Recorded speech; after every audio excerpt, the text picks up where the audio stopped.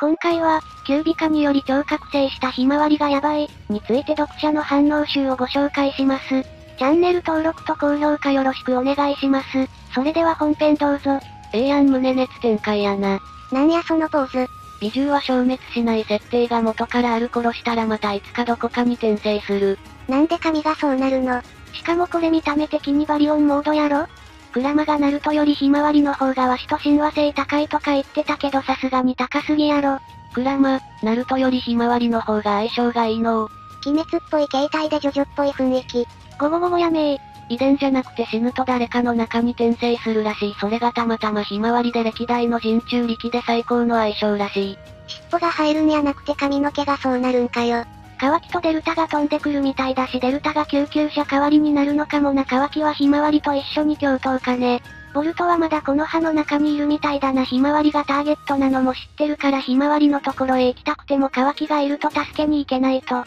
イノジン普通に好きだからこのまま死ぬとは思いたくないな。ジュラさんこれでも結構優しさを感じてしまう。今見たこれさすがに死んだだろ。面白いものを見せてくれたらイノジンを直してくれそう。クラマ的には次に生を受けるときはナルトは死んでいて美獣以外は知り合いはいない状態と予想していたのかな。イノジンは飛べるキャラ増えても輸送力はないから多人数運べる点で希少な飛行ユニットでもある心電信でエイダの目をかいくぐれる点でも希少ここで離脱させるには便利すぎるキャラじゃないか。バリオンモードなのかあれはだったらイノジン助かるかもな。なんで相手と自分かクラマの寿命削る技で助かるんだボルトを回復させてたし驚異的な回復力があるんじゃないかと。助けに行った乾きが目にしたのは爪と牙を生やし赤い硫黄の目を輝かせて暴れるひまわりだった。夜中だったらホラーだな。一部の頃のナルトみたいにキュービチャクラマ取っただけじゃねクラマが協力してるから暴走したり自我失うことはなさそう。マジでクラマ優しくなってる以前が、ひまわりはもう人中力ではない得意な存在だよな一心同体っていうのはそういうことか。乾きって大筒き絶対困るすまんの時はただのナルト基地でカッコ悪すぎたけど、ひまわりを助けに行くってなった途端かっこよく見えてきた。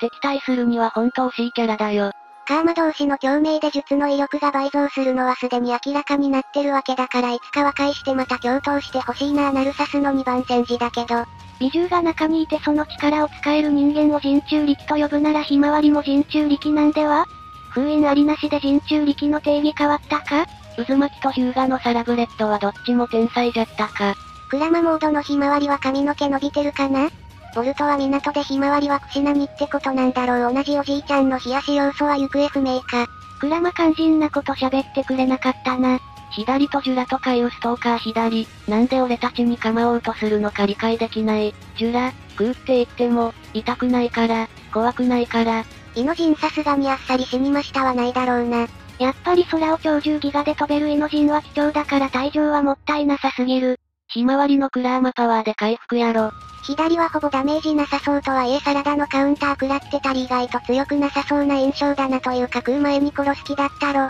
字が生まれたてで体を動かすの慣れてないか無意識にサラダに手加減してたか、ただ元がサスケなせいなのかかなり天然というかポンコツな雰囲気漂ってるよな左。自分がカーマを抑えている間に妹が襲われそれを止めようとした友人が瀕死の重体、師匠に頼むと言われたサラダを危険な目に合わせてとボルトの精神的に大きな痛手になりそうな事態に。乾きの邪魔がなければボルト一人で解決できてた疑惑あるのくさ。他にもいたけど前回撤退したからさすがに厳しいんじゃね。前回乾きがボルトと協力体制取るか今里を襲ってるジュラ優先にしてたら被害出る前に間に合ってたかもさすがにイノシカ長の一人がここで退場はないと思いたいが。真珠のリンネガンってカミラソラ製とか使えないのかな。引き寄せる弾き飛ばす吸収する。で大体の戦闘はどうにかなりそうな。ものだが。ひまわりがキュービチャクラ使えてもやっぱ勝負にならな。いよな。そこで乾きの出番ですよ。明らかな致命傷で死ぬかどうかはご都合主義なところあるけど明らかに即死レベルなんだよなイソジン。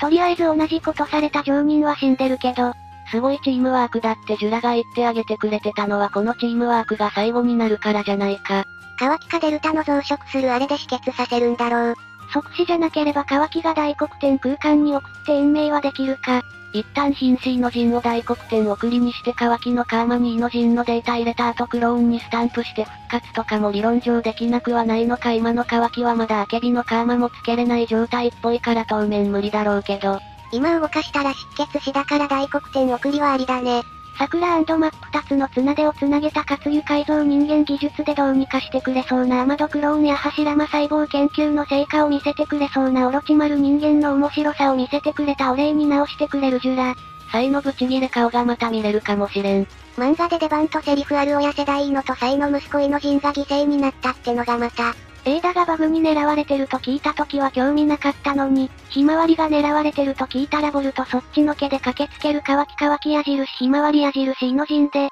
ひまわりはモテモテだな。サラダ矢印ボルト矢印委員長だし両手に花に妹で行くんだろうそこにエイダーネ弟も入る可能性。ひまわりが鬼滅の根津ここみたいになってきたな。なんかオマージュっぽいのがところどころあるよね。アニメ見てたから川島はたっと買った川木のがボルトよりお兄ちゃんしてた気がする。乾きの描写全般もだけどイノジンとひまわりの絡みとかもアニメ見てないと割と唐突な感じだし早く復活してくれないかね。ボルトに関してはやっぱり漫画とアニメ両輪あってこそだと思うわ。イノジンは唐突だけど、乾きとひまわりに関しては、ひまわりの花瓶を直すまでの過程が書かれてきたし、ひまわりをデルタから腕犠牲にして守ったりしてたから、十分な関係性になってると思うけどね。イノジンよりも萌え木の方が唐突じゃねえイノシカ長との信頼関係、アスマとイノシカ長みたいにアニメですら大して書かれてないし、このハマルへの恋愛感情？も当のこのハマルがアニオリキャラと恋愛してたし。2部のアニメやるときはサラダのキャラで栄えてほしい。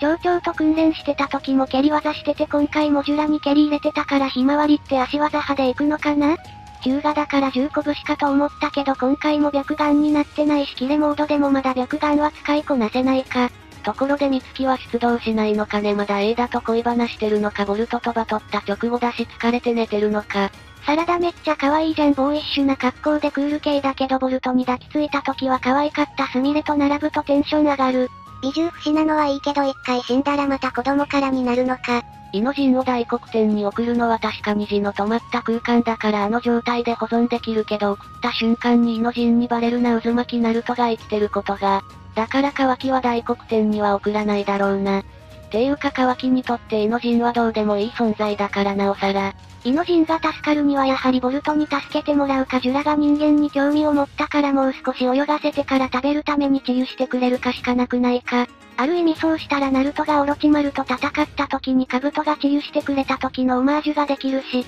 瀕死の渋滞の上に時が止まった大黒天空間に入った瞬間に意識はなくなると思うよだからナルトがいるとはわからない大筒木ならともかく。正直ひまわりにミニクラマはご都合主義だなと思うけど今は戦力が足りなさすぎるので一人でもインフレについてこれそうなキャラが出てくれるのは嬉しい。一部のデーモンがひまわりの中のクラマを感知していたのだとしたら、相当早く復活したことになるよね。バリオンのデメリット弱くなるな昔から美獣は人中力にバリオンモード提案して脱出すればよかったんじゃ。嫌いな人中力のためには精神的な問題でできないんじゃないの？それに子供まで戻ってしまうしクラマも根性の別れ的な挨拶していたから普通は数十年とか数百年かかりそう場所もわからないわけで、皆さんは、キュービカにより超覚醒したひまわりがやばい、についてどう思いましたか？皆さんの感想コメントもお待ちしています。チャンネル登録もよろしくお願いします。